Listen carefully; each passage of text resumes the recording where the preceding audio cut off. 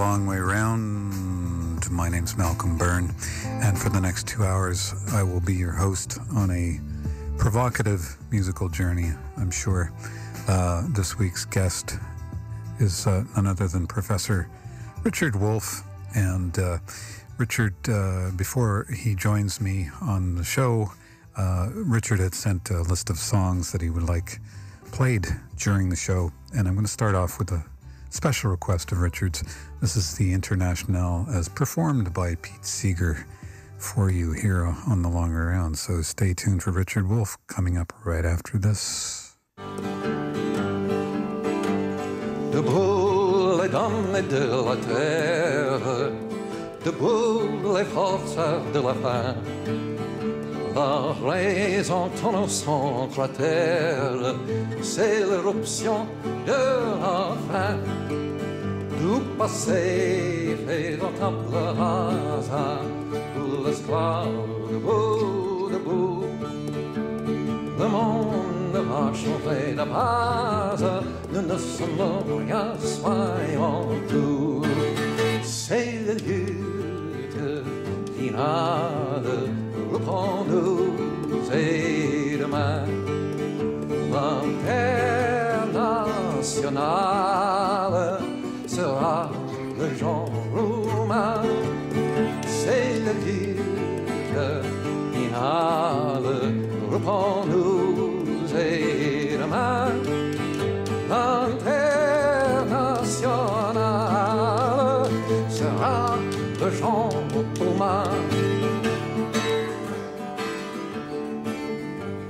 Wake up, you prisoners of hunger. The world is changing at the base. We who have been nothing will be everything. Of the past, we shall make a clean slate. Still speaks French, though.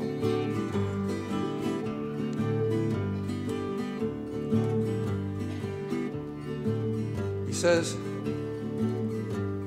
It's the final battle. Then he says, We need no supreme saviors, no God, no Caesar. Producers, save yourselves. Heat up your own forge. Soufflons nous-mêmes notre forge. Blow upon the forge and make it hot. Beat on the iron while it is hot. Il n'est pas de sauveuse frame, ni Dieu, ni César, ni tribun.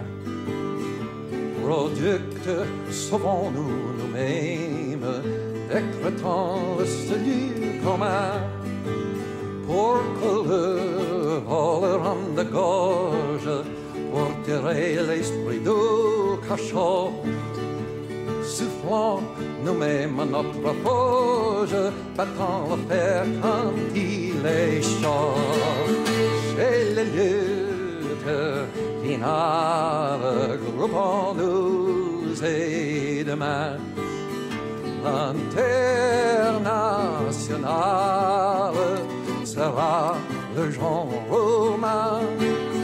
C'est la lutte finale, groupons-nous et demain, l'international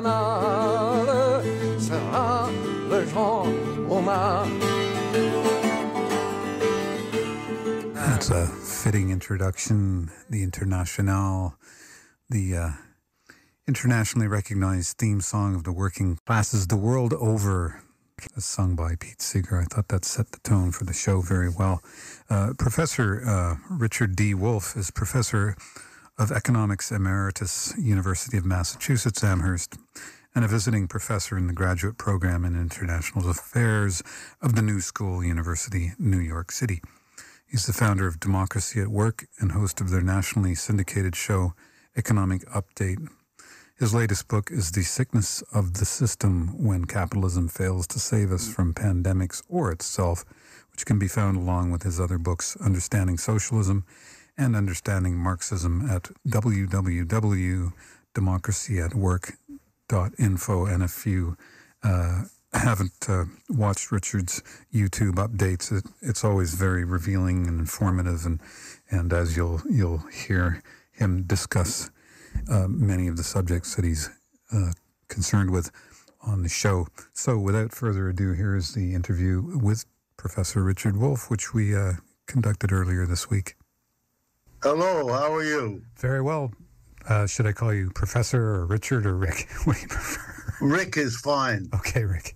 I'm very, very grateful to have you as a guest. I've been following you for a long time and and uh, always feel uh, uh not necessarily better, but at least more enlightened when I listen to you speak. right.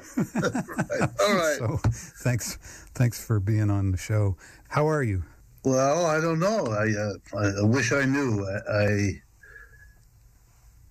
I'm optimistic. I always was. I remain so, but it is becoming more difficult because of the combination of accumulating problems uh, that I see all around me. And that is coupled with a level of denial about the problems I see all around me. It's more the denial than anything else that scares me. Yeah. And I, so I thoroughly understand, and as I, I said, there are there are very few. Uh, your voice certainly is included voices of what I would call sanity and reason in the public discourse, and I hope that that remains the case. I, some of the people that I've been listening to have been deplatformed. For example, you know they've had their YouTube channels either blocked or shut down just because you know there's certain things you're not. Um, I guess you're just not supposed to talk about anymore. right. like what's really going on. I have a few questions jotted down, and, and I, I know you're you're only here for an hour, so I, I don't want to uh, bog things down too much. But I know enough about you to know that you're basically a self-described Marxist.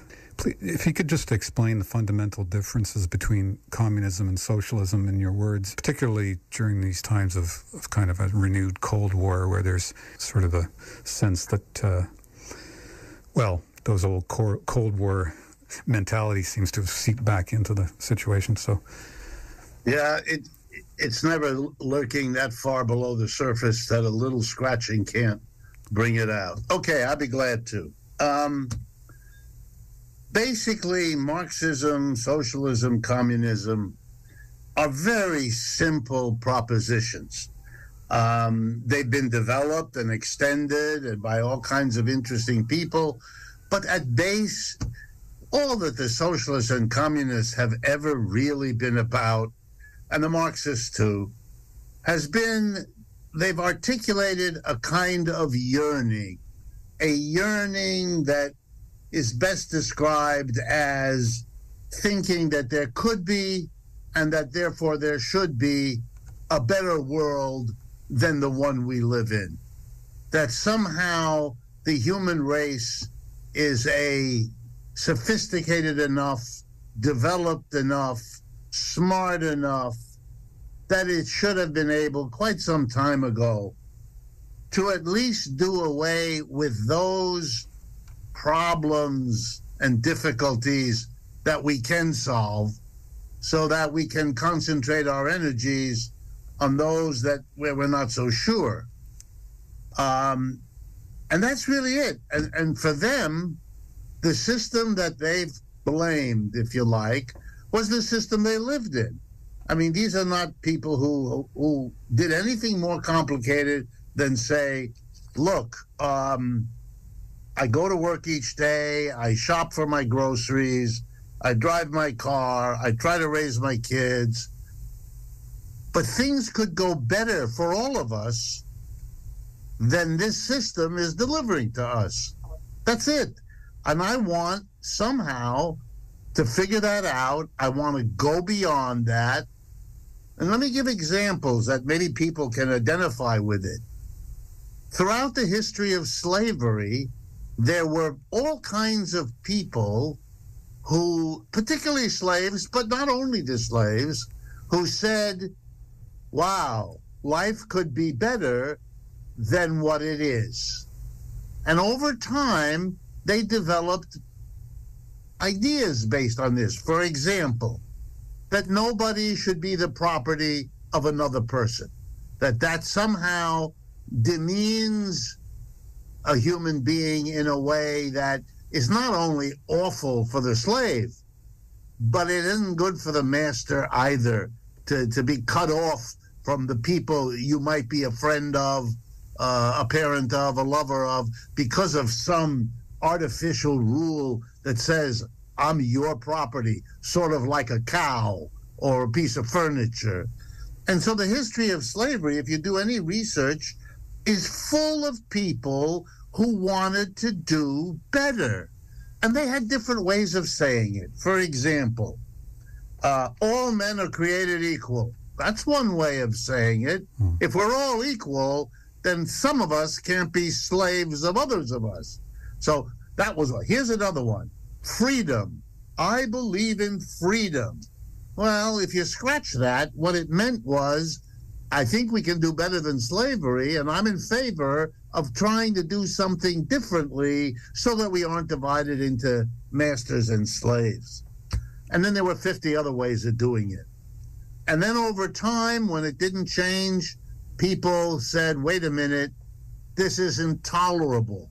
And now we're going from a yearning to a demand. This is not tolerable. And then they did. They had revolt, revolts, slave revolts, and they had revolutions, and they had slaves who ran away into the forest where they could set up a different kind of community and try to experiment with a community in which there were no masters and slaves, and that wasn't a allowed.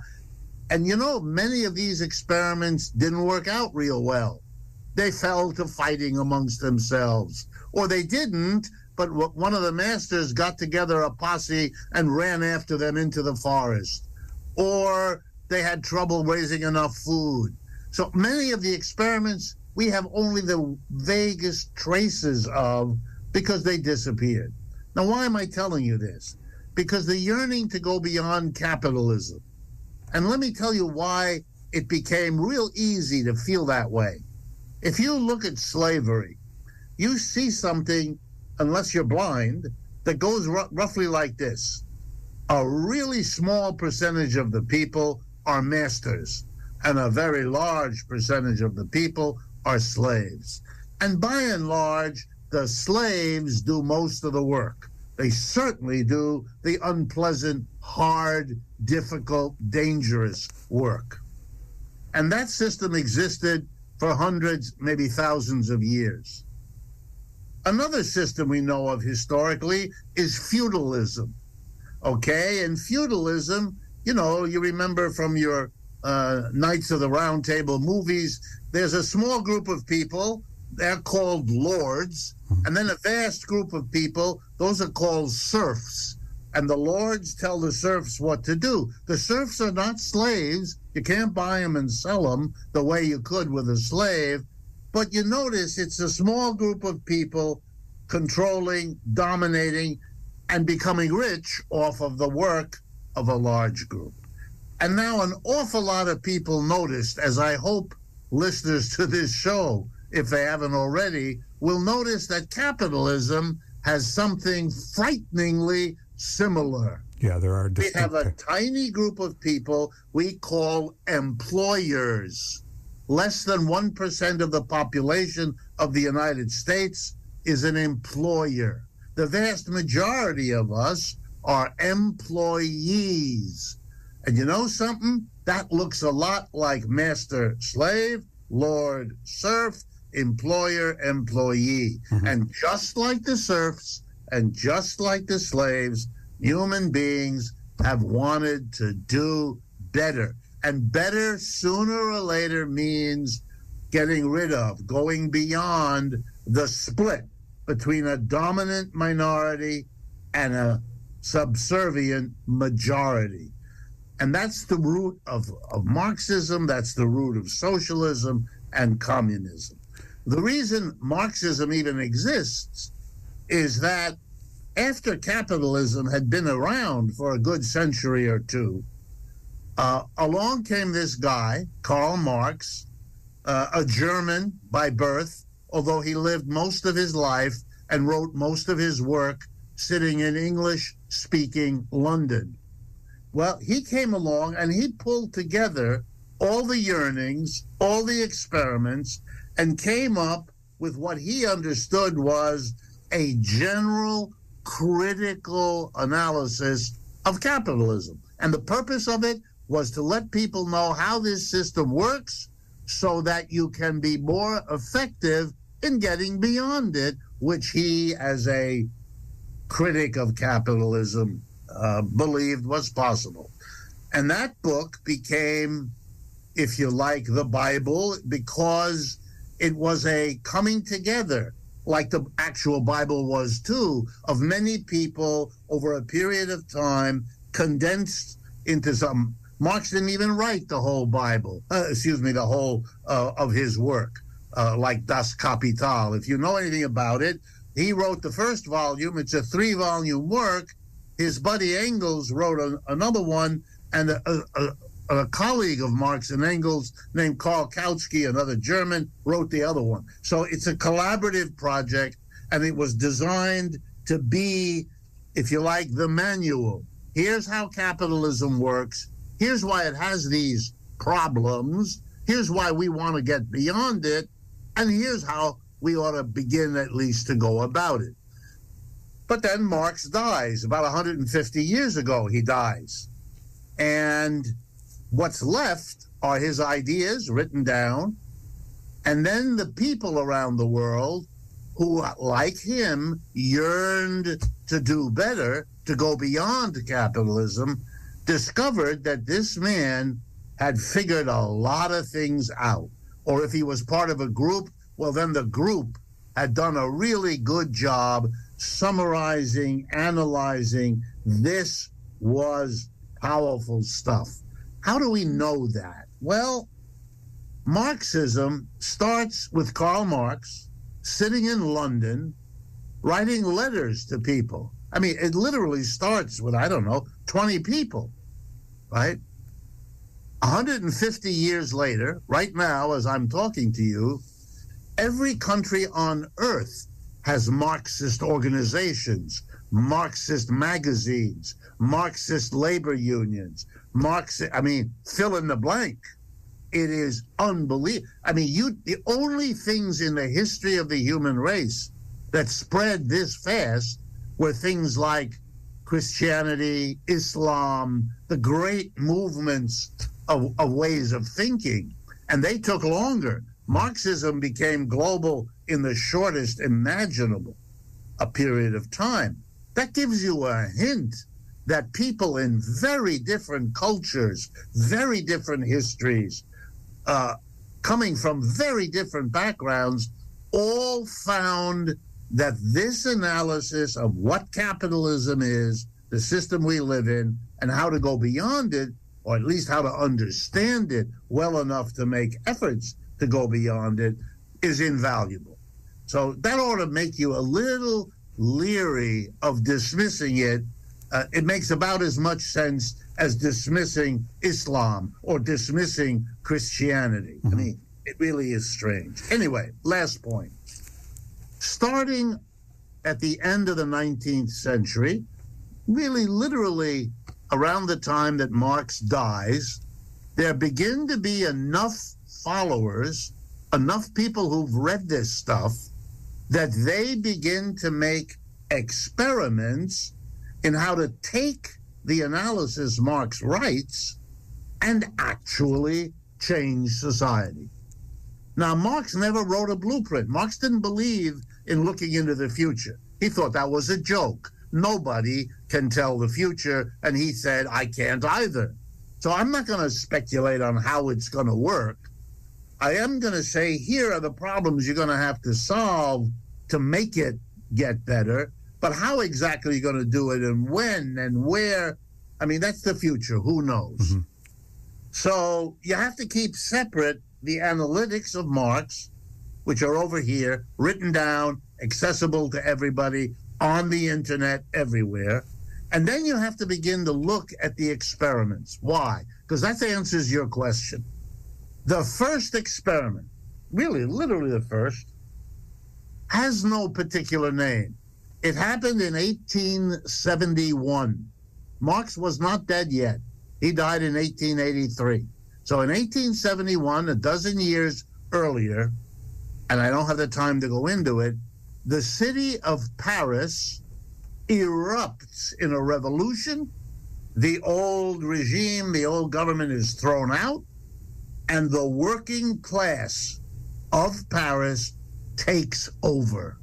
It, it runs that big city in France as a worker cooperative enterprise. Is that the uh, Paris Commune? That, exactly. It's called the Paris Commune. There's a rich literature uh, by all kinds of people people who love it, people who hate it, and those in between. Anyone interested can go learn about it. Didn't last but a few months. So it's a vet, but it was a very powerful event because it gave people the idea that Marxist thinking could be operationalized. In other words, it wasn't just a theory, it could become a framework to do something practical.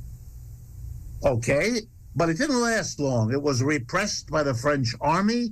Very ugly story, but you know, people can find it out. And from 1871 to 1917, that's almost half a century, there were no more major experiments. What did happen was that political parties developed that picked up Marxism. By far the most famous and the strongest were in Germany, not so surprising, and in Austria, which is another country, but it is controlled by the German language. That they share that language. A party began in Germany called the SPD, the Socialist Party of the German word for Germany, which is Deutschland. So SPD. By the way, that party, which officially adopted Marx and Marxism as its framework, wanted to go beyond German capitalism.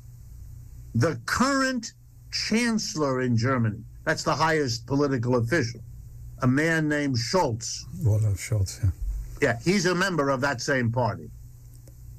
It, it has changed over the years, heaven knows. But here's a little touch of history. He's still a member of the SPD uh, party that comes out of it. Austria has the same thing.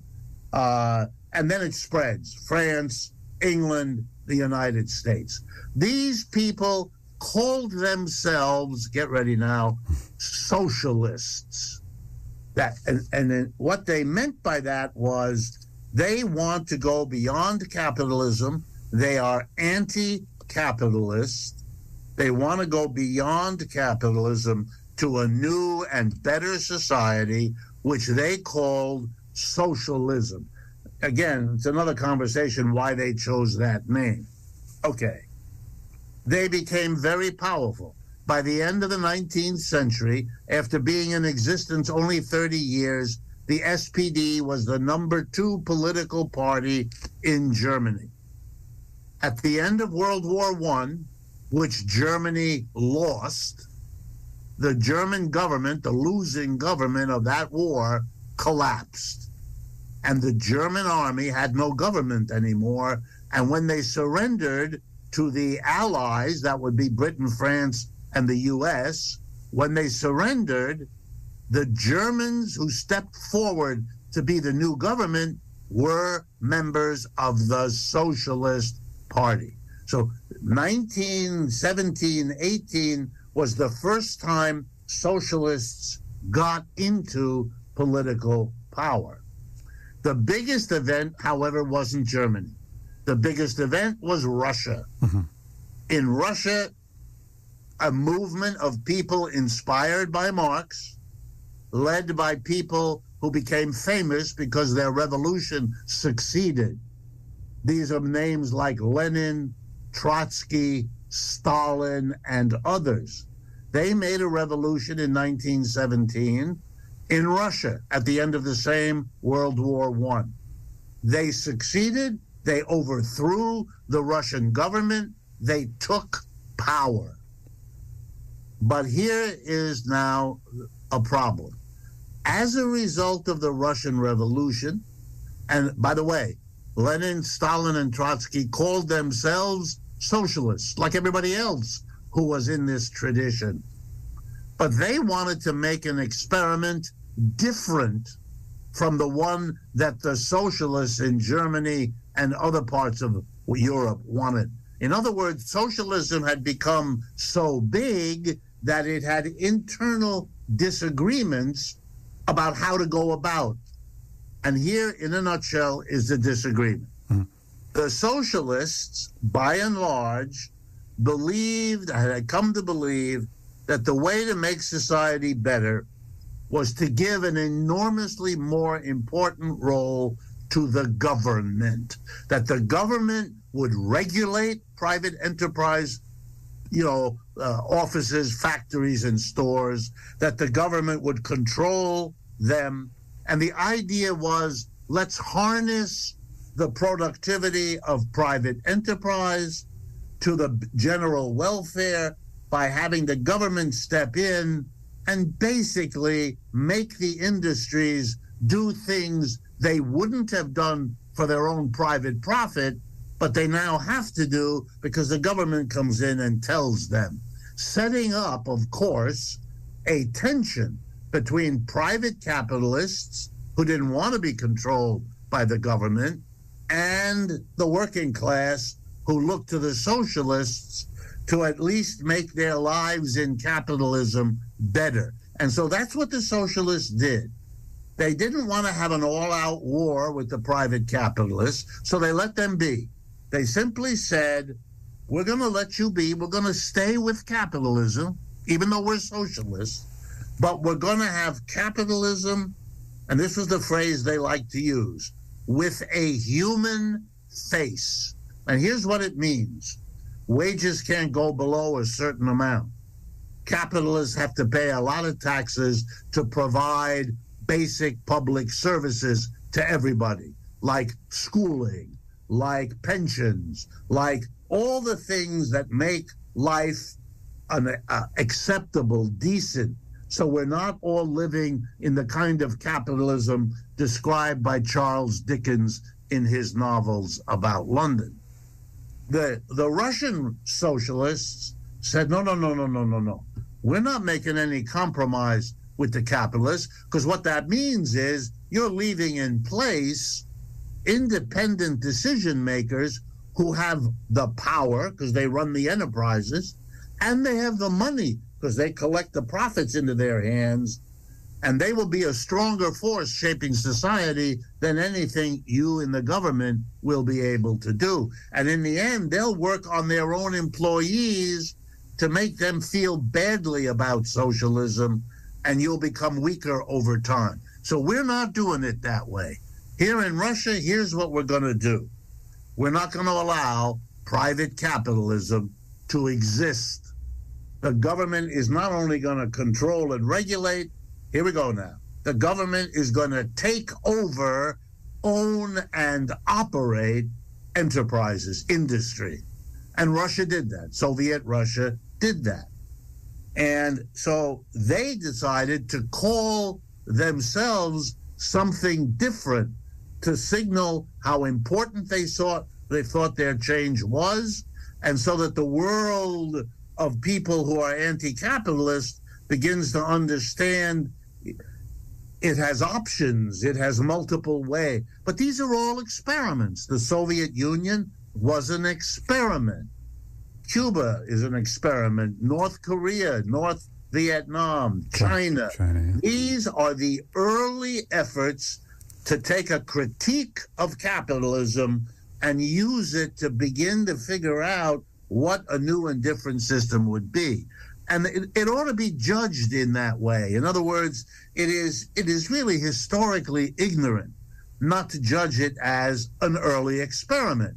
It's the thing you you do you make mistakes. That's why we have things called trial and error. You do things and you learn from them. This worked. We should do more of that. This didn't work. We should do less of that. Capitalism did not come out of feudalism in Europe all finished.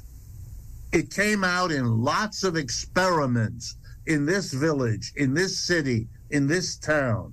You know, Italy happened much earlier than other parts of Europe because they were in touch with the Arab communities of the of the Middle East, and so they were ahead in those days. The Chinese were ahead.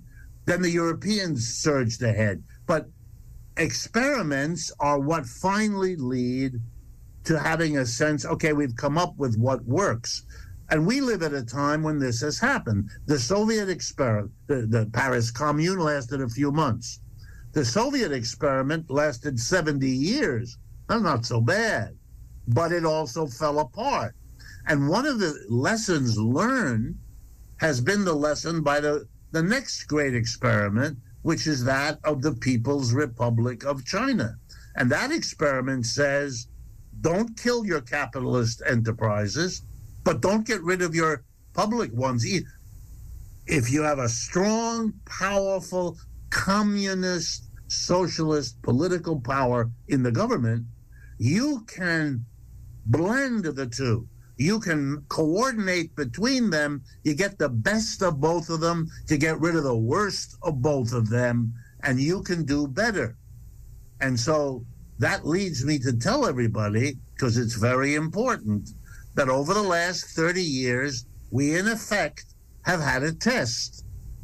The Soviet Union is gone, but we can test how well did the particular way China, which by the way refers to his, its system in these words.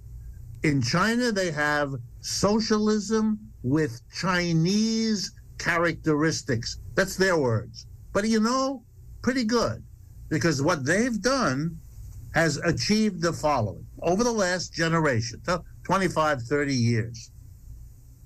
The growth of the Chinese economy, uh, which they, as I say, they call a socialist economy, the growth of the economy has been growing at a rate for 25 years or more, three times faster than the United States, year in and year out. If economic growth is your priority, then the contest between the United States and China is over. China won and the U.S. lost. I'm not saying this is good or bad. I don't want people to jump on me. I'm just telling you what's been going on. It's up to you to decide what you feel about. Mm. Let me give you another example. Over the last 25 years, the average real wage of a Chinese worker, that's the amount of money he or she gets in their pay envelope adjusted for the prices they have to pay. The real wage in China has quadrupled it's four times today what it was, which is a clue to why the Chinese people like their government. By comparison, the real wage in the United States is barely 10 or 11% more today than it was 30 to 40 years ago. Their wages went up four times, ours went up 10%. Wow. Again, no contest. One more. The biggest problem in the United States today, most people would agree, is inflation. Yes, I was going to actually segue into we're that. We're going to talk about that.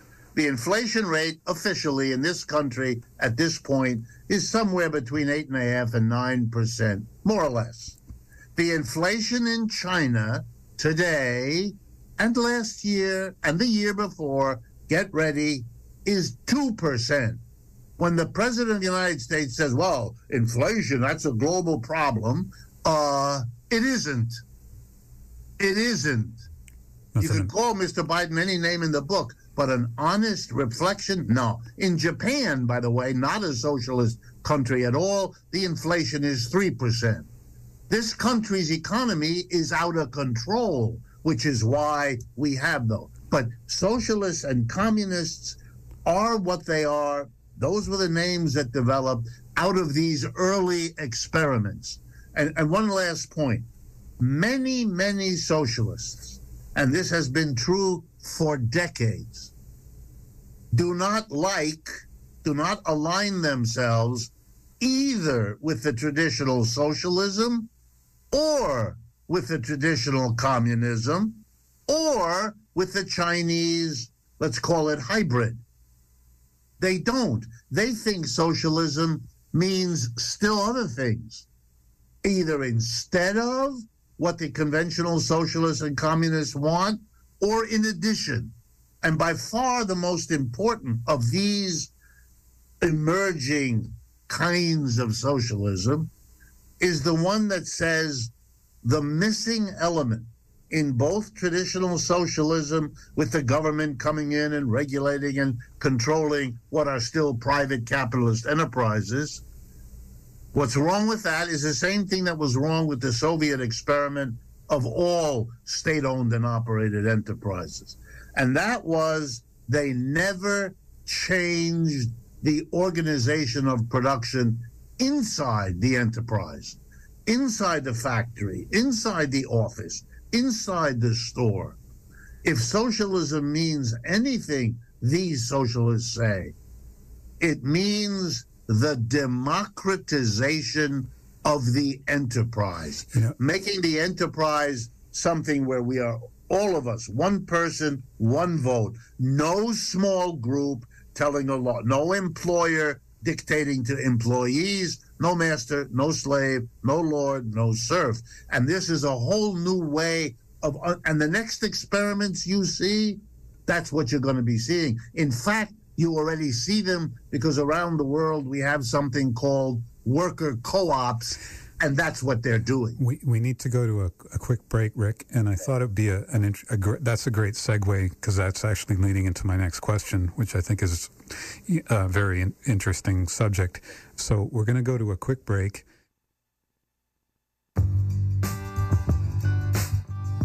Welcome back to the show. I've got uh, Professor Richard Wolff here with me uh, on the long way round. And if you're just tuning in, uh, welcome to the show. Rich, uh, that was a fantastic explanation. And I often say to people the difference between communism and socialism is communism is more of a systemic organizational term, whereas socialism is, and I may be paraphrasing you, is simply the ability to criticize the system to make it better. Yeah. Um, but my my and I actually was watching your uh, um, democracy at work talk today. I'm very fascinated about this idea, the alliance between labor unions and worker uh, co-ops, which is what we were just kind of uh, hinting at before we took the break. Yeah, um, it's a wonderful subject, you know, and it's it's strange here to answer this question here in the United States because in Western Europe, for example in many of the countries there, there has been and there is now an ongoing alliance uh, between labor movements labor unions on the one hand and worker co ops. Just like the worker co op is a much more developed aspect of European economies, not all of them, but of many of them, than here in the United States. Uh, they're more familiar with them. I mean, just give you an example if you're not familiar.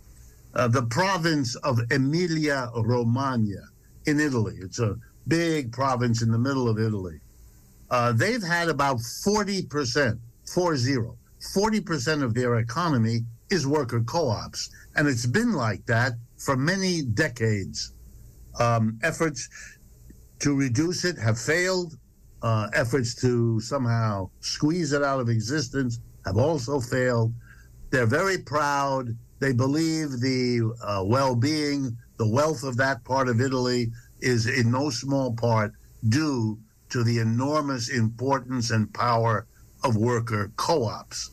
I'll give you another example. The, perhaps the most famous is in Spain, in a small city in the north of Spain.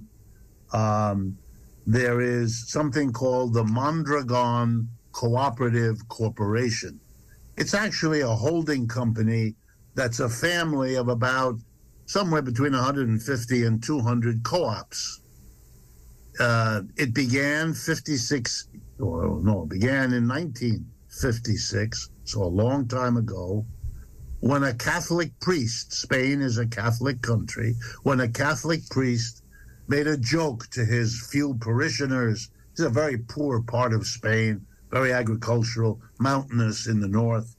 Um, he said, if we wait for jobs in our town, if we wait for employers to come in here and give us jobs, we will all die of old age before that ever happens. So, how about we become our own employer? We set up a worker co op where all of us run it and work in it at the same time. It's a self governing enterprise. And he was a Roman Catholic priest. So all of this took place in a kind of um, complicated relationship within the protection of the Roman Catholic Church, which is pretty much the official church uh, of Spain. It's the overwhelmingly uh, biggest of all religions in that country. Um, okay, so fast forward to today. Started, by the way, with this priest and six workers. Today, it is the seventh largest corporation in all of Spain. It has over a hundred thousand workers under its corporate umbrella. Um, in not in all, but in many of them, they run it like a democratic community. What does that mean? Well, to give you an idea, all the basic decisions are made by majority vote of the workers in the enterprise. They meet, they discuss, they debate, and then they hold a vote. And the majority wins. And by the majority, I mean the majority that decides what the enterprise is going to produce, what technology it's going to use, uh, where the p- production is going to happen. And here comes a big one. What's going to be done with the revenue that they collect when they sell whatever the output is? Uh, these are all now democratic decisions. Contrast that with capitalism. There is no say. I've been an employee all my life. None of my employers ever asked me to participate in making any of those decisions. I was an employee. I was to do what, how, where, when the work had to be done. And when the revenue came in, I didn't see it. I didn't participate. I was told, here's your wage. Go home, get a pizza, a beer, and come back tomorrow morning, and we'll tell you what to do then, too. And be grateful for it. Yes, and be grateful that we don't fire you. Right, That's. That's right. In, in, in Mondragon, you can't be there. The, the workers hire the supervisors, not the other way around.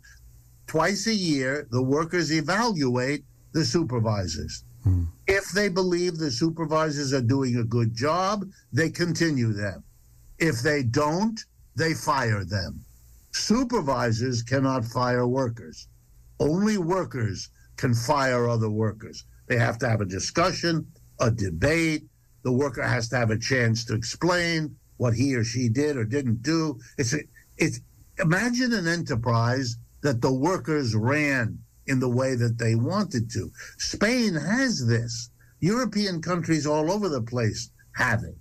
Okay, here's now the punchline for the United States. Unions have a function. Their job is to make the wages we get as workers and the working conditions we live with as workers better than they would be if the union wasn't there. That's when unions are formed. These days, you know, every other Starbucks barista, every other Amazon warehouse uh, worker is thinking about unions. It's all over the place. yes. I just read this morning Home Depot is facing its first unionization drive for an entire store. Okay, it's every why? Because those workers feel that they're not treated well. They're not paid enough. They are made to work crazy hours. They're not told from one week to the next which hours they have to show in. And if they displease the supervisor, they're bounced out of there no matter what the cost to them, their family, the community, et cetera, et cetera. And they've had it with that. Okay, if unions form for this reason, here's what they've discovered. Often the employer doesn't care whether you have a union or not. He refuses to bargain with you. He refuses to meet whatever demands. He refuses to make a compromise. He just refuses. What do workers do then? They got a union, they're there, but they can't budge. Well, they have something, a weapon in that case. They often don't want to use the weapon, but it's good to have it because you can get your employer to sit down with you by threatening this weapon. Uh, and it's called a strike. We all know what it is. It's when the workers say, okay, if you won't meet us halfway, if we can't work something out here, we're going to do the only thing left to us, which is to withdraw our labor. And that'll be an important lesson to you, Mr. Employer. You know what the lesson is? You can have all the best machines in the world and you can have all the best designs and you can have all the sharpest executives. But if you don't have the workers, you've got nothing. What, no profit, nothing happens. What, but now, let me just make the sorry, key go ahead. Right? Pardon me. The the worker co-op is like the strike. The worker co-op gives the labor movement another weapon. Here's how it goes dear Mr. Employer, please, you know, give us a wage increase or give us better hours or whatever it is. If you don't, we may strike. If the strike doesn't work, we have something else. Here it is, dear Mr. Employer. We are going to buy this business out from underneath you. You're not going to be the owner, the operator. We are. We are going to collectively buy the enterprise and convert it from a top down capitalist enterprise that you had into a democratically run worker co op that we're going to establish. So if you don't want that to happen, well, then we suggest you work out a deal with us. It becomes an, an alliance between unions and co ops. And if a co op does develop somewhere, it will give, for example, benefits to its ally, the union. If the union goes on strike, the co op will give union members a discount during the strike to help them get through it. If there's a political party that reflects the needs and desires of union members and worker co ops, both of them will fund that party. Both of them will recruit for that party. And that party will push to get laws and regulations that make it easier to form a union, that make it easier to form a work. In other words, they, they help each other. This becomes the basis for a new left political movement in America that can change everything. So that's why you'll you'll pick up these days an excitement in the ranks of labor and in the ranks of worker co-ops, and we have hundreds of these in the country right now, about possibilities of working closely together. You know, I, I was thinking about something that um, the author Chris Hedges has often talked about, you know, in his responses to the concept of a third party, you know, a viable third party uh, in, in the United States, which is often dismissed as either completely, you know, pie in the sky impossible, or oh, the system's so, you know, invested in this two-party political duopoly, I call it, that that's just not going to be possible because there's just not enough money to to support candidates. But what Chris has often said is that the only viable route towards a third party is through the organization of labor. Would yeah. you would you agree with that statement? Absolutely, and and one of the reasons I just said what I said about alliances between labor unions and labor movement on the one hand, and and kind of pleading that they see the worker co-op as the extension. I mean, the basic argument to the American worker is every time you negotiate with an employer, even if you struggle hard, even if you win a wage increase, uh, better job conditions, you know that the employer has an incentive from the minute you win that to take it away from you, to maneuver around, to fire the union leaders so he gets people that have less courage, or maybe to persuade workers by threatening them to go against the union, to do.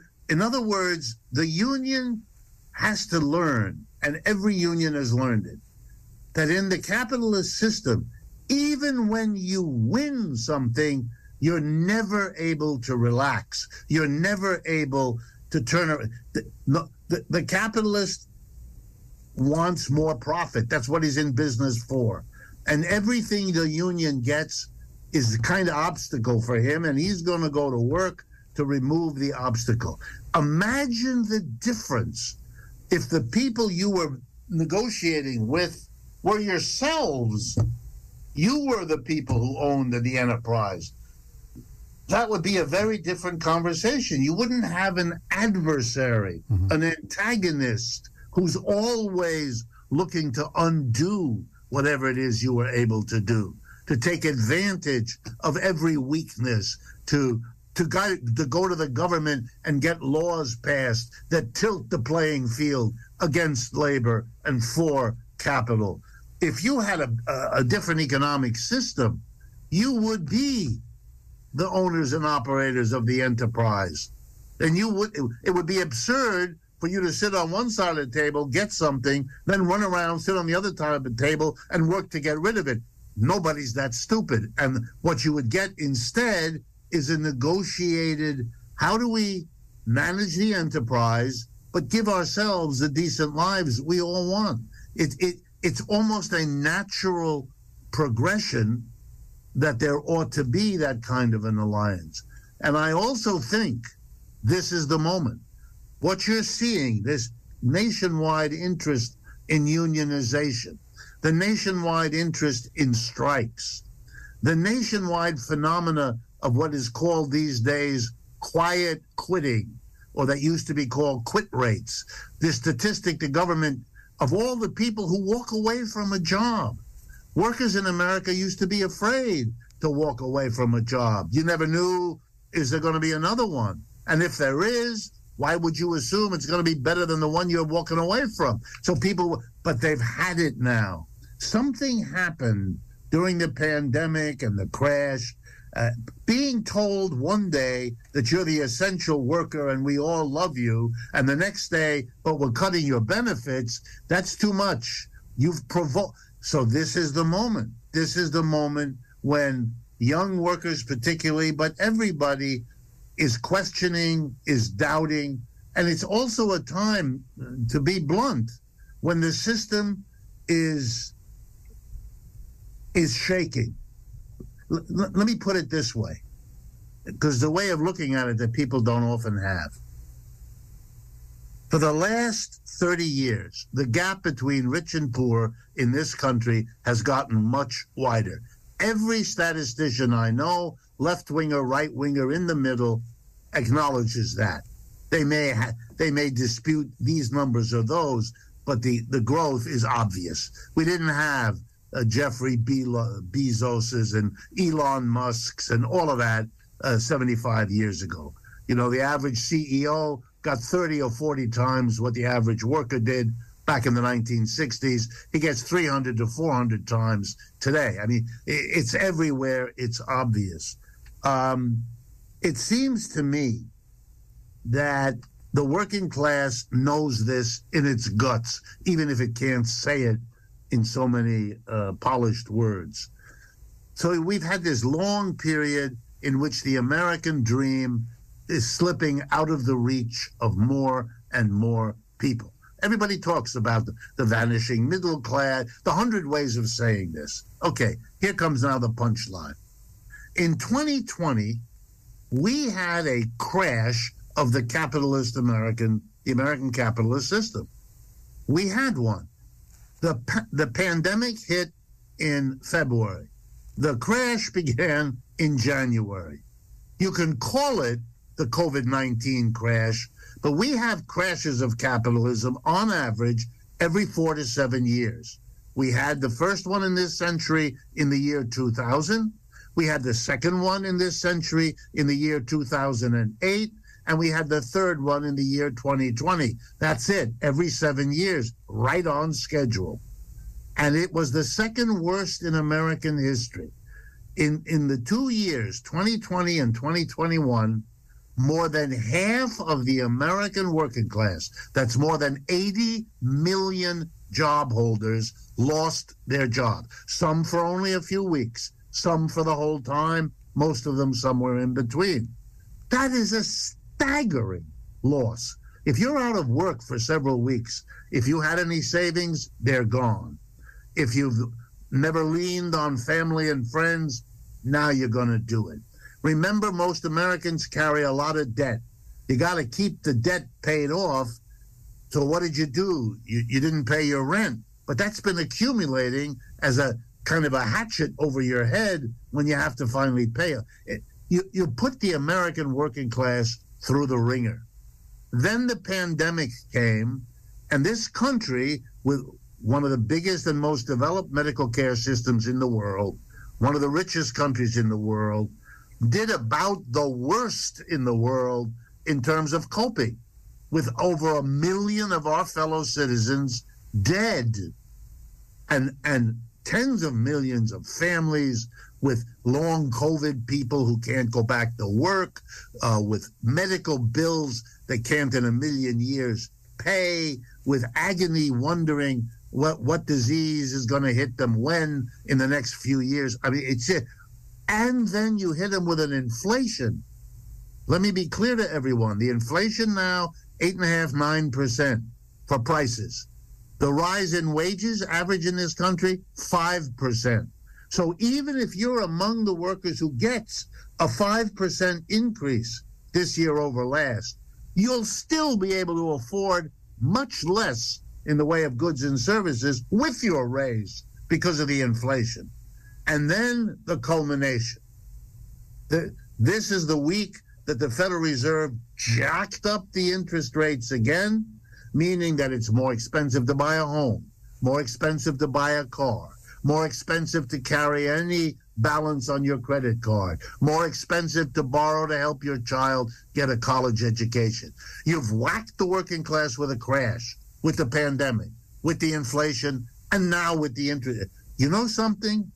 You can't do that to a working class without seeing it become, and I use this word carefully. The working class becomes crazy. And the greatest example is Germany. I was you know Germany going to ask you. Germany was the great yeah. Germany was the great competitor of the United States to replace the British Empire in the 19th century.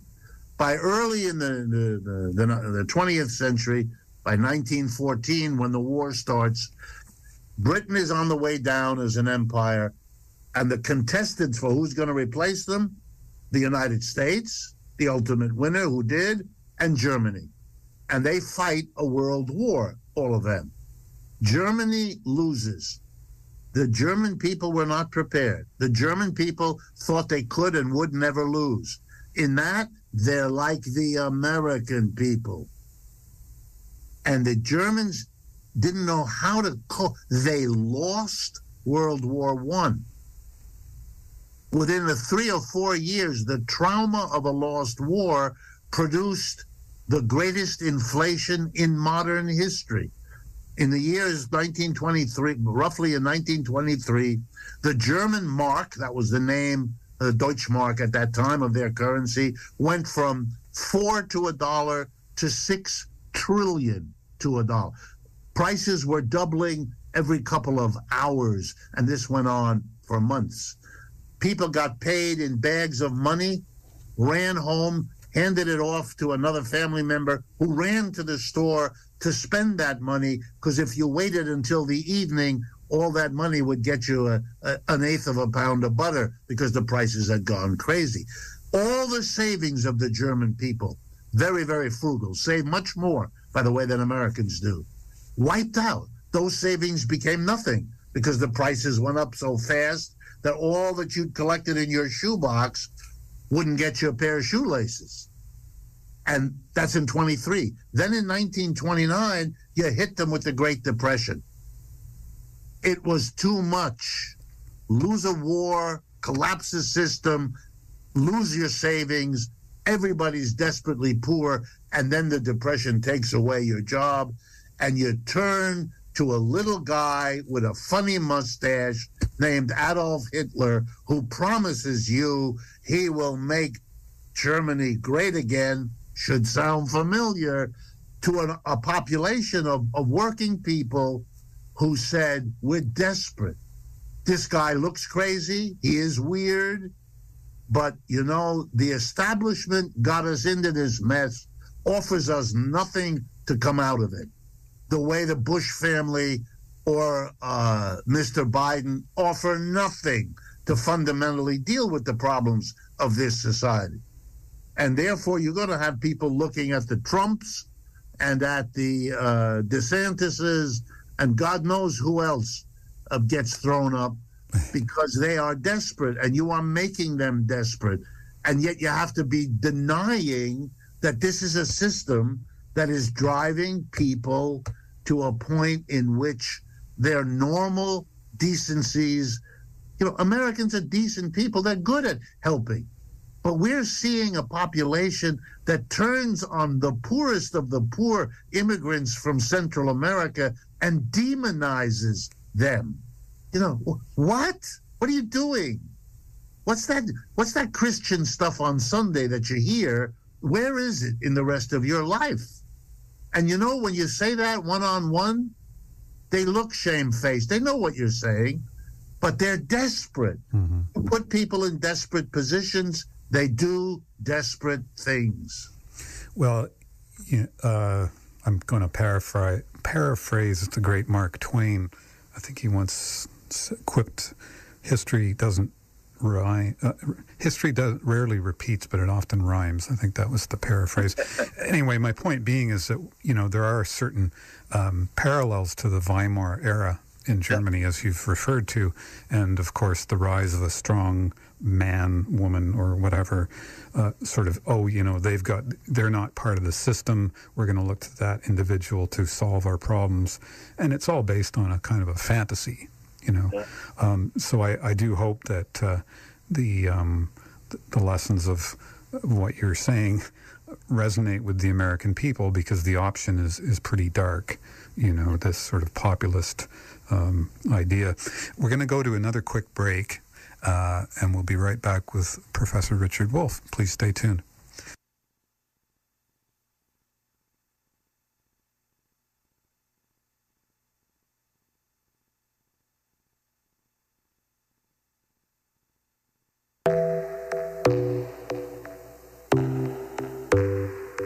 From our studio in Midtown, this is Radio Kingston, WKNY, AM 1490, FM 1079, Kingston, New York. Hi, I'm Adiane Bartley. Hola, mi nombre es Neri, aquí de Broadway Bubble. Hi, I'm Jill from the Broadway Bubble at 718 Broadway. We have a super attentive staff and we speak English, Spanish, and Kichi. Tenemos un personal muy atento y hablamos inglés, español y quechua. We've renovated and have a really nice workspace, kids space, snack table, free soap, free dryer on Wednesday, and we even have a drop-off service. Espacio para niños, mesa aperitivos, jabón gratis, secadores gratis, los miércoles e incluso tenemos un servicio de entrega. That's the Broadway Bubble at 718 Broadway. We're open seven days a week from 8 a.m. to 8 p.m. Estamos abiertos los siete días de la semana de 8 a 8 de la tarde. Radio Kingston. Many voices. Many voices. Muchas voces. One community. Hi, I'm Michael Berg from Family of Woodstock. We're here on Radio Kingston with Family Time, Tuesdays at 6 p.m.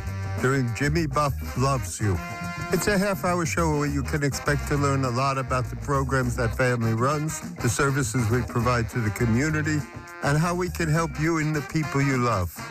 We'll talk about childcare, restorative justice, reentry, domestic violence, emergency services, and food insecurity, and lots more. That's Family Time, Tuesday at 6 p.m. here on Radio Kingston, AM 1490, FM 1079, and anytime at radiokingston.org.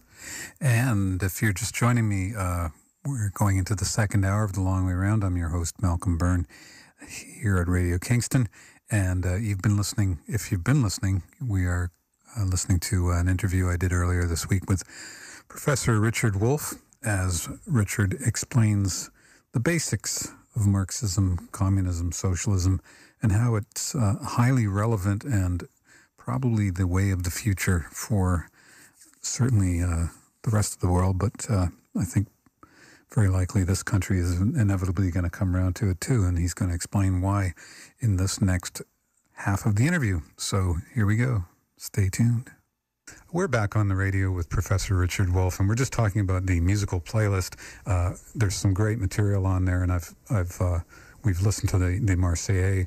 Um, at a certain point, we'll listen we'll listen to the Internationale, uh, the Soviet version of that, and I've also dug up a, a, beautiful. I don't know if you're familiar with the rendition. Uh, you had suggested Joe Hill, uh, the Woody Guthrie version, but I found a beautiful version by Paul Robeson.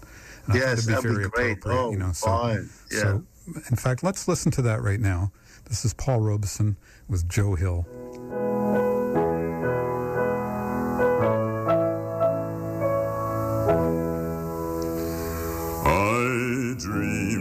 I saw Joe Hill last night, alive as you and me. Says I, but Joe, you're ten years dead. I never died, says he. I never died, says he. In Salt Lake City, just as I am standing by my bed. They framed you on a murder charge, says Joe, but I ain't dead, says Joe,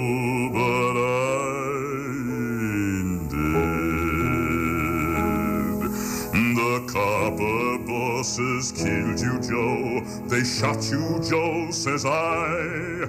Takes more than guns to kill a man, says Joe. I didn't die, says Joe. I didn't die. And standing there as big as life, and smiling with his eyes, says Joe, what they can never kill, went on to organize, went on to organize. From San Diego up to Maine, in every mine and mill, where workers strike and organize, it's there you'll find Joe Hill. It's there you'll find Joe Hill. I dreamed I saw Joe Hill last night, alive as you and me. Says I, but Joe, you're ten years dead. I never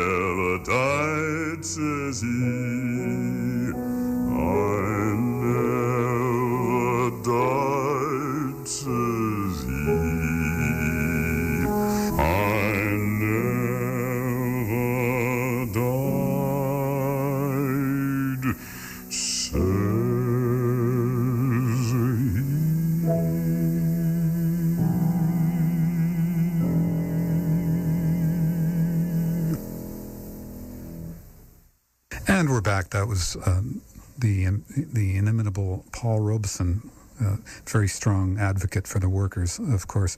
Uh, I you, saw you recently. You were just on uh, George Galloway's show the other day. He was a guest on this show a couple of months ago. What a wonderful guy he is. yes. But uh, I think maybe for this last little bit of time that we've got you, I would love to get your take on. I, I have this kind of I, I don't mean to sound like a conspiracy theorist, but it seems to me that the only economic solution that the West has is perpetual war. Um, how can you explain to the average American worker who is, as you pointed out, struggling under all of these burdens of debt uh, and so forth, uh, coming out of COVID, which apparently is officially ended according to our president? How, how can you possibly justify 50 odd billion dollars and counting of investment into Ukraine? And I heard you talk about this on George's show, where you said, look, if we just gave Ukraine hundred billion dollars a year. Please, please uh, elaborate on that concept. Yeah, I mean, this has to do with with with so many issues that you know. I, I kind of I hardly know where uh, to start. It's pretty huge. I mean, yeah. Uh, I'm going to blame. I guess that's the word to you, I'm going to blame the Puritan origins of the United States. The need to see the world in terms really starkly of the good guys and the bad guys. And the good guys have to be just squeaky clean, good, good, good, good, good to the nth degree. And likewise, the bad ones have to be bad, bad, bad, bad, bad, bad, bad to likewise the nth degree. Like a Marvel we, comic or something like that. Yeah, it's just it's it's just awful. I remember I was driving in my car back in the war in Iraq, and as the build up to the war in Iraq, uh, and, and by the way, let's remember, the United States invaded Iraq. The United States illegally, invaded yeah. in Afghanistan. The United States invaded Vietnam. Those countries didn't invade us, we invaded them. Uh, keep that in mind when you see the outrage that Russia invaded Ukraine. By the way, I'm against Russia doing that. I don't want countries to be doing that. But you cannot be the United States and a straight face be talking about the awfulness of a big country invading a little one. Well, there's no moral. There's no moral standing to be had how, how can you point the finger when you've for the last 20 years you've been engaging in countless illegal wars all around yeah, no, the world. No, it, it, but yet we do it. We make Mr. Putin the evilest, awfulest, terriblest person on earth. The story I was about to tell when I was driving my car at the Iraq, I heard, I believe it was someone working for the New York Times, equate Saddam Hussein with Hitler. You know, what is this? What are you, you know, the absurdity of it. What are you doing? It, it's, it's bad. If you read most of the American history, not now, we're getting smarter about these things now, but the, the genocide committed by Europeans against the indigenous people of the United States was handled for many, many decades by the victory of decency over savagery. They were, sa- I mean, you killed when, men, women, and children on a massive scale. Nothing comparable happened to you. Nothing remotely comparable because you had all the guns and they didn't and all the rest. But this is a country that can't come to terms and it has done it over and over again. Every war ends in a negotiation. Even when there's a surrender of one side against the other, that has to be worked out because there are a lot of complexities. And so, what are we doing? Why are you demonizing? What's the point? And the only answer I can come up with is that's what Americans expect. If you don't demonize, they won't think there's enough of a of an issue here for them to get excited about. And as it is, most Americans don't get excited about Ukraine. I've done the experiment myself. I've asked my students, here's a map of Europe. Where's Ukraine? They have no idea. And these are students. These are smart young men and women. They're well schooled, but they don't. They, they have no reason to. There is nothing, nothing going on there. So okay, so what have we got? The real issue here, and pardon me for talking bluntly, but the real issue here is the contest in this world right now between the two major economic powers. One of them is the United States, and the other one is the People's Republic of China. Russia is a ally of Mr uh, Xi Jinping in China. Um, it turns out that the Chinese and the Russians together have lots and lots of allies around the world. That's why the UN vote on Ukraine was the way it was. That's why Russia survives to this moment because they can sell oil and gas all over the place to people who are perfectly happy to pay for it and who will not return the telephone calls from Mr. Zelensky. And I'm not arguing whether that's good or bad, but let's be honest with one another. Otherwise, what's the conversation about here? It, we're exchanging fantasies. I don't want to do that. I don't even think you want to do that, you know, you, the average public. So let's be honest about what's going on. Russia invades Ukraine. That's a military conflict been going on for quite some years in that eastern area of Ukraine. Yeah, at least. So now close. this is an escalation, no question. Russians did that, open, very open to debate whether they could have and should have and all that. I get that. I don't like that they did it. I disagree with it and all that. that but that's not my point here. My point here is what did the United States and Europe do? They acted like they can crush this event. They don't have to talk to anybody. They don't have to negotiate with anybody. They are going to punish the bad people.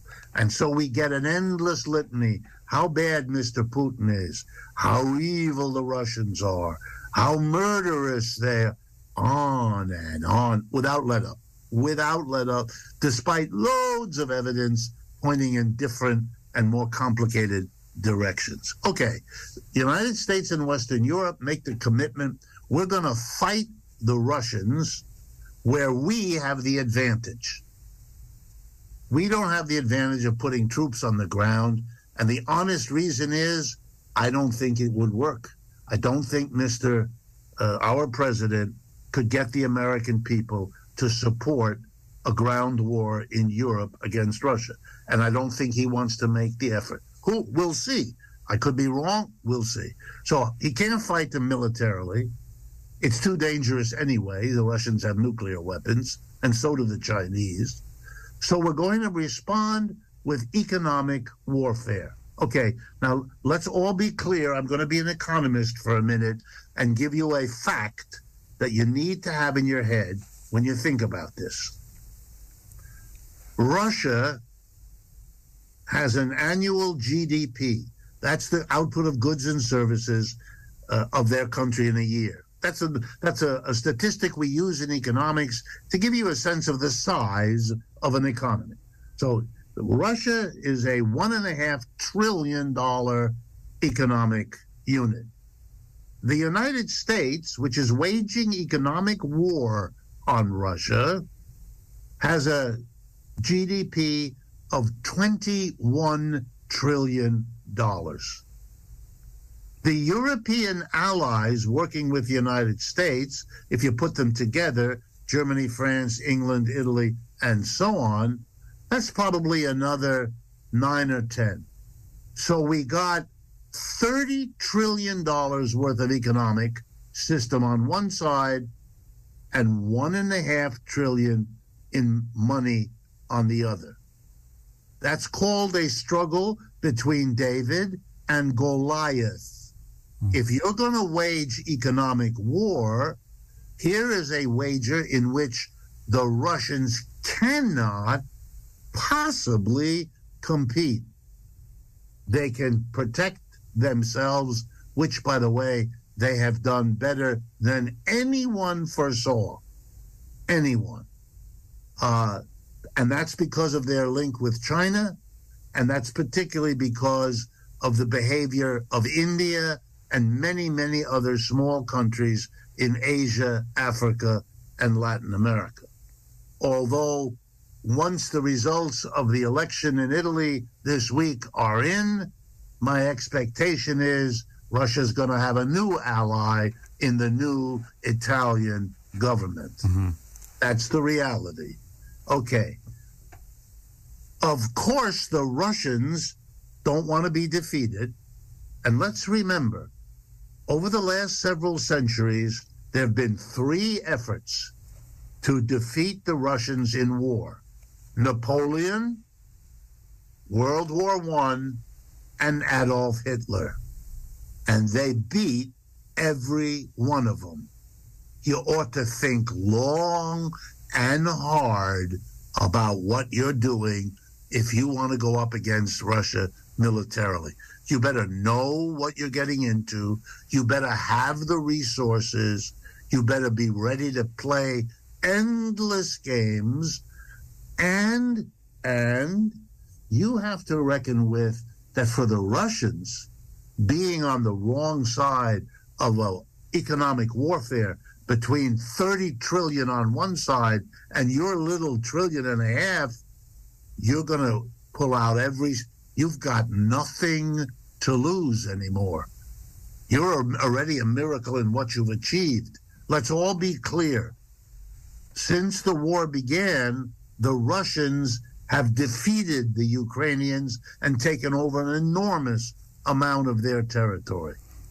Well, also the territory that they have contested contested uh, is kind of the Eastern European equivalent of the Ruhr Valley. You know, it's the industrial heartland of the country. So, right. in many many ways, Ukraine is, is heading towards the inevitable, which is a failed state. What I'm curious about is and George, good old George, he, he puts it in, a, in, a, in, a, in his inimitable, inimitable Scottish brogue. He says, yeah. Europe has lifted a giant rock and now it's landed on its own foot. Yeah. It seems that what Europe and to some degree America has committed sort of almost economic suicide over this situation in, with the sanctions. It's completely backfired. I'm quoting you when, when I say that. Yeah. I mean, the joke in Europe among the people I talk to is that the United States is committed to fighting Russia in Ukraine to the last Ukrainian. That's a bitter joke. And it's accompanied by an even more bitter joke, which is not only to the last Ukrainian, but to the last European, mm-hmm. that our economic systems, our political systems, you know, the establishment political parties, and they are the only ones that lined up beside the United States. They're in ever deeper trouble. They are on the edge of losing uh, in France. Well, there was They're just on a the edge of shake up in, in, Sweden. In Sweden, in Italy, Greece. Uh, the British are, are living out a, a fa- I mean, it's unspeakable. You, Britain is arguably in the worst shape of any major European country. It's been getting working in that direction for 15 years. It faked its way through the Brexit by telling itself that if it only got free of Europe, well, then it'll solve all its problems, which makes exactly the same sense as if we had followed Mr. Trump into getting rid of immigrants and thinking that would solve all America's problems. And here are the British desperate. And what do they do? I mean, talk about denial. They just treated the world to an, a, a display of royalty with diamond studded crowns on a coffin with their queen uh, recently departed. They're spending wild amount of money symbolically celebrating a monarch and an empire over which that monarch mo- ruled, all of which are gone. And the conservatives who are in power picked as their new leader a woman who said the solution to our problems is to cut taxes on business. That's what they've been doing for 20 years. That's how they got here. Well, she's and, also said quite openly in a debate before she was officially became prime minister that uh, she was open to a limited nuclear war regarding Russia and Ukraine, which is yeah. quite frightening to have a person like that in that position. Yeah. I mean, yeah. Just, just, I mean, the only, the only comfort is, if that's any comfort, that as as was said during the leadership of Tony Blair, the relationship between the United States and Britain is when the United States says jump, whoever the leader in Britain is asks the question how high. Uh, it, it, that's a that's a sad comment, but I, I want to make everyone clear what's happening in Europe is also a polarization of left and right. Mr. Macron is the uh, establishment in France. He's dead. He's a politi- He's a walking dead person politically. You know, the right wing of, of Marine Le Pen is coming at him from one side. The unified left, Mr. Mélenchon, is very powerful, the second biggest vote getter in the last uh, parliamentary election. I mean, and neither of them has the attitude towards Ukraine, you know, that the, that Mr. Macron has, and he doesn't share the German or the English. I mean, they are very worried. It has always been, ever since the Cold War after World War II, the anxiety of Europe has been that in the conflict between, in those days, the United States and the Soviet Union, they would be the sacrificial lamb. They would be where the missiles fell. They would be where the armies clashed. They will be what's what's blown away. And in many ways, that's what's happened, which is why Europe is in the terrible position.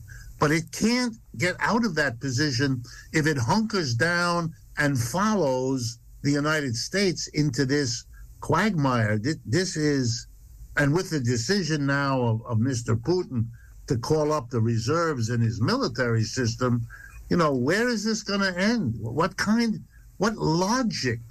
Right. What is the interest of the United States in a war in the in Ukraine? I mean, really? Only if you have a fantasy that you could somehow so weaken the Russia that it would fall apart, and that therefore their alliance with the Chinese would make them a little weaker. Well, that's let me let me again the statistics. Russia's GDP one and a half trillion, U.S. GDP uh, twenty one trillion, Western Europe GDP let's say nine trillion, People's Republic of China GDP fifteen trillion. The Europeans better be very very careful because they are the little guy in a struggle here, which is between the United States and China. And eventually, since neither of them want the nuclear war that would destroy the two of them most of all, as they destroy each other, if they're going to avoid that, they're going to have to do what the United States and Britain did. I keep telling people this story the United States broke a, an unimportant little corner of an empire. It broke away. It said we want to be independent. We don't. We hate colonialism. We hate you, George III. Blah blah blah. Tea Party. All of it. The British went to war to hold on to that colony. The, the War of Independence, 1775 and 6, is the American colony breaking away from the global colonial system. The British sent armies. They killed 70,000 people died in that war, Americans. A few years later, in the War of 1812, they tried again. They killed 15,000. So you put it together, 85,000 at a time when the whole population of the country was a small fraction of what it is today. Then the British realized we can't do that. We cannot force it. So we better work out a deal, which they did. And that's the history ever since. That deal cost Britain a role reversal from being the top gun telling the U.S. what to do. It's exactly the reverse. That doesn't have to be the outcome. But the lesson in all of it is if the Chinese and the Americans want to avoid a war, which will be much more de- destructive now than it ever could have been back in the 18th century, then they have to sit down and work this out. And at this point, the whole world believes that the Chinese would do it in an instant and that the refusal comes from the United States and Western Europe, which is how most people see why there's a war in Ukraine as well. Mm-hmm. Well, that's a great way to, to end things off, Rick. I definitely uh, would love to get you back on the show because um, things are always evolving and changing, and yep. and uh, you're a, a, a, very strong, powerful, and logical voice. Uh, so we, we all, on behalf of myself and, and the group, we'd like to thank you for being on the on the it's show. My, yeah, it's my pleasure. I, I appreciate that there are programs like yours that have the courage to, to, to bring to bring these kinds of conversations into the public speech. This should be going on all over the country, all over the internet, all over uh, radio and television and everything, because literally the future of the world and of this country uh, depends on this.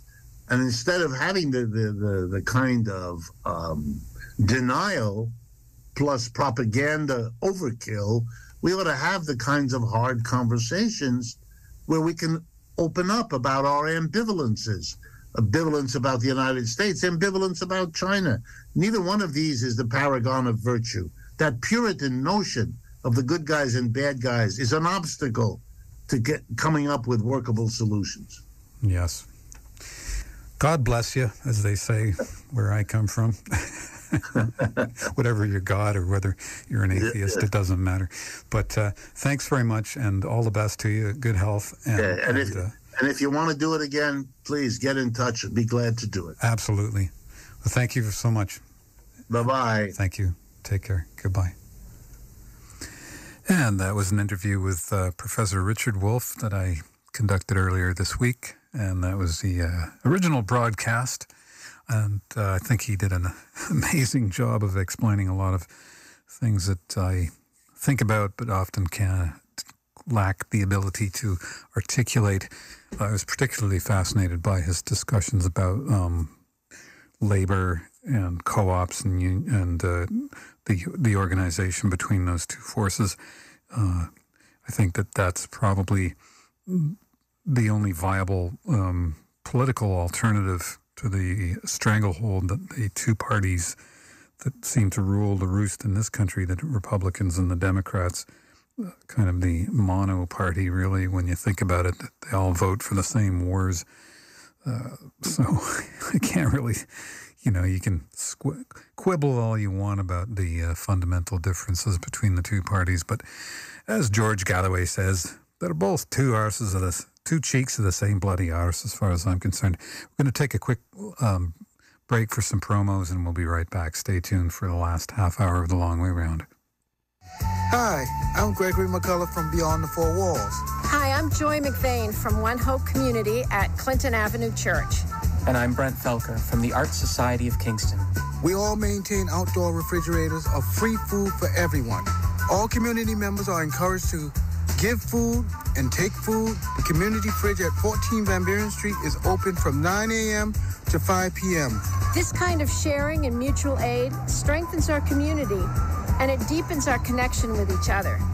The Blue Fridge at 122 Clinton Avenue is open every day from 7 a.m. to 7 p.m.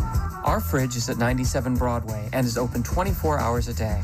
Be sure to label any homemade meals with all ingredients and the date you made it, and package them in one to two meal servings. We love sustainable packaging if it's available. All food is welcome at the fridges, and staples like milk, bread, eggs, yogurt, and cheese are always in demand. Radio Kingston. Many voices. Muchas voces. Many voices. One community. Hi, it's Nick Pankin. Join me Tuesday nights at 9 for Freedom Highway. The arc of history is long and it's filled with song. There are voices still calling across the years. Humans have always used music to unify and amplify our struggles for freedom.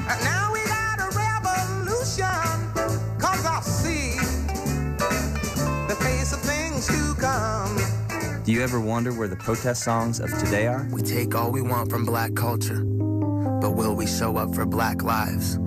We'll explore the roles that music plays in shaping the movements that aim to shape our world through interviews, conversation, and lots of great music. Freedom Highway, Tuesday nights at 9 here on Radio Kingston, AM 1490, FM 1079, or anytime at radiokingston.org. And Ocean's 8 Films is hosting a screening of Winship at the Hudson River Maritime Museum Wednesday, Wednesday, September 28th. Winship follows the schooner Apollonia, the country's only delivery vessel to run exclusively on wind energy, and her crew over the course of the past three years as they set sail carrying deliveries of lumber, corn, malt, CBD products, a printing press, hot peppers, organic pillows, and more, all without the use of any fossil fuels. the screening will be followed by a Q&A with the boat and film crews and Radio Kingston's own John Bauer, master from the Green Radio Hour. The event is free and open to the public. Wind shipped Wednesday, September 28th at the Hudson River Maritime Museum, which is 50 Rondout Landing in Kingston, New York, USA, the world, Turtle Island. Doors open at 6 p.m. Film begins at 7. And as promised for the last oh, 25 minutes or so, uh, Professor Wolff had sent me a list of um, music that uh, we could play during the interview, but we, we, with all that uh, conversation, we didn't get really much chance to, to, to, play any music. And I even skipped playing the uh, Marseillaise. So I'm going to play that first. But uh, Rick, I, I'm sorry, I'm not going to play any of the Bob Dylan tracks because unfortunately, what happens with those is uh, YouTube um, blocks my videos whenever I, for some odd reasons, only ever happens mostly with Bob Dylan material. Uh, my my YouTube video postings get um, blocked, and I can't can't show them. So must be some publishing issue there, I suppose. Bob wants all his money. Uh, anyway, love you, Bob. This is the Marseillaise, performed by the uh, some French people, Les Honneurs Français, in honor of Rick Wolff.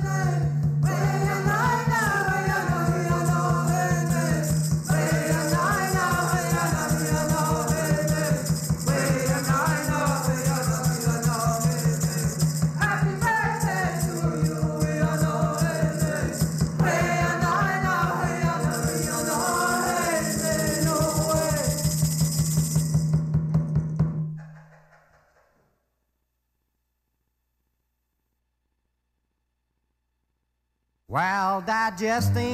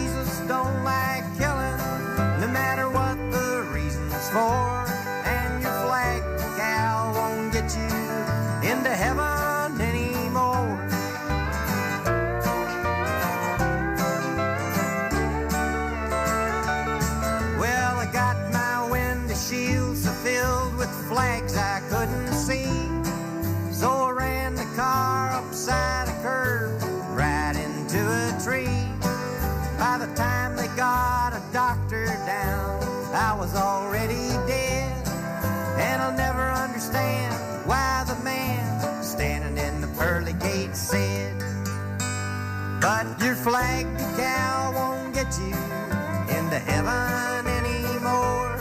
We're already overcrowded from your dirty little war. Now Jesus don't like killing, no matter what the reasons for. And your flag decal won't get you into heaven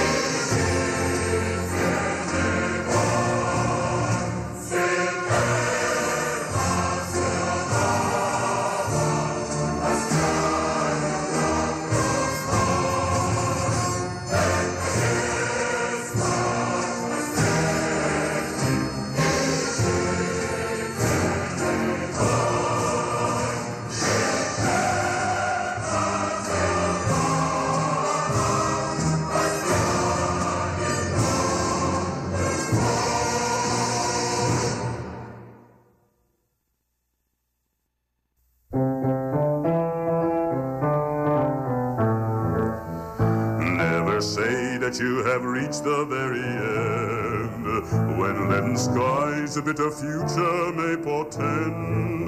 For sure the hour for which we yearn will yet arrive, and our marching steps will thunder we survive. For sure the hour for which we yearn will yet arrive, and our marching steps will thunder we survive. Not lead but blood inscribed this bitter song we sing. Tis not a caroling of birds upon the wing, but 'twas a people midst the crashing fires of hell that sang this song and fought courageous till it fell. But 'twas a people midst the crashing fires of hell that sang this song and fought courageous till it fell. Sorgen in King als du gehst dem letzten Weg, wenn die Himmeln bleine verstellen bläue Teg, weil kommen wird noch unser eus gebänkte Schau, uns wird er beugt und so trat mir seinen da. Weil kommen wird noch unser eus gebänkte Schau, uns wird er beugt und so trat mir seinen da. Geschrieben ist das Lied mit Blut und nicht mit Blei. Es ist nicht ein Lied von so einer Vogel auf der Frei. Das hat auf Volk zwischen Fahlen dekadent. Das Lied gesungen mit ner in die Hand. Das hat auf Volk zwischen Fahlen dekadent. Das Lied gesungen mit ner in die Hand.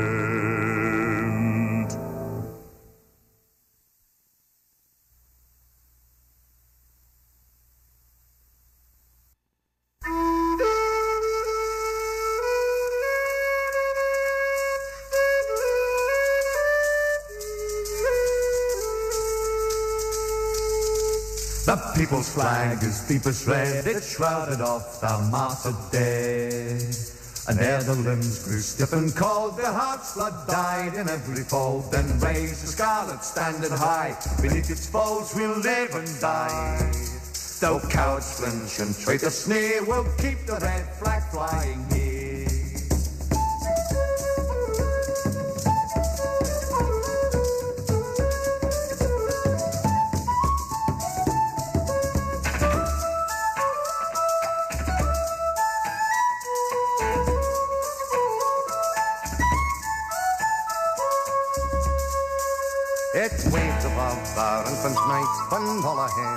Heads seem dark as night.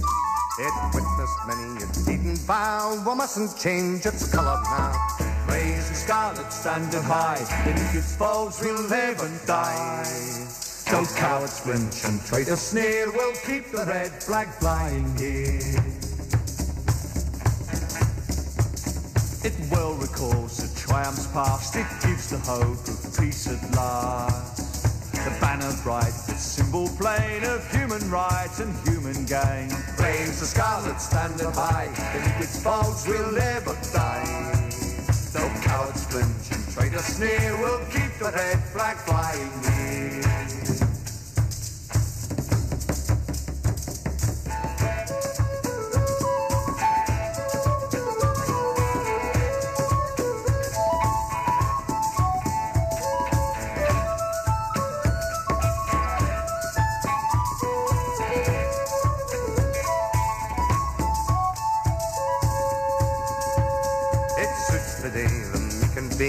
Minds are fixed on pelf and place. The cringe beneath the rich man's frown and haul that sacred emblem down. Raise the scarlet standard high, beneath its foes we'll live and die. Though cowards flinch and traitors sneer, we'll keep the red flag flying here. With heads uncovered, swear we all to bear it onward till we. Dark or gallows grim, this song should be our parting hymn. Raise the scarlet standard high, beneath its folds we'll live and die. Though cowards flinch and traitors sneer, we'll keep the red flag flying here.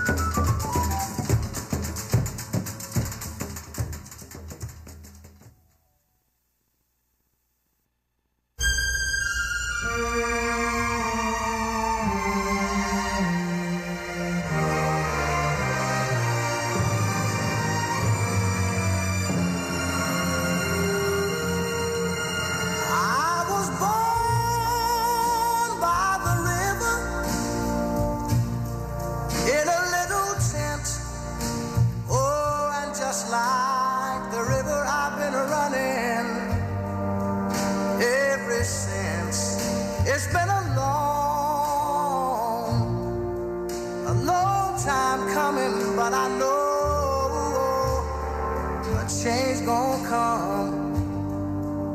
Oh, yes, it will. It's been too hard living, but I'm afraid to die. 'Cause I don't know what's up there beyond the sky. It's been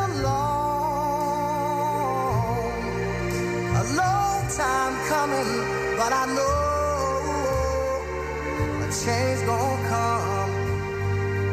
Oh, yes, it will. I go to the movie and I go downtown. Somebody keep telling me don't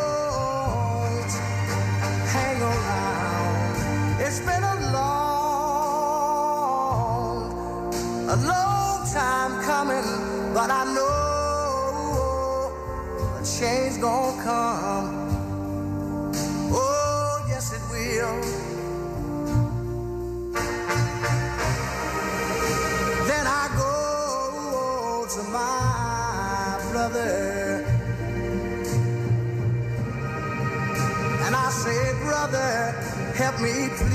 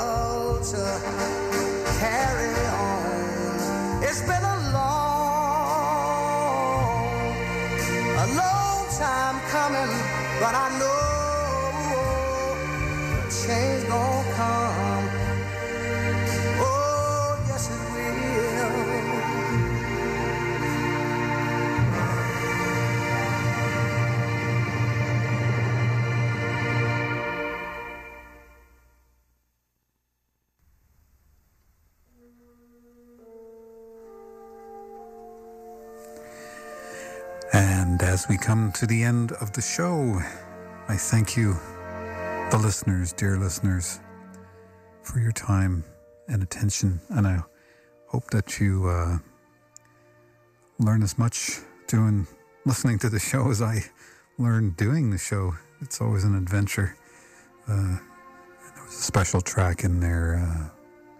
That was your birthday track from, uh, who was that? Uh, Juanita Bird birthday song from the album Water's Life. Anyway, if the good Lord's willing, the creek don't rise. We'll see you next week.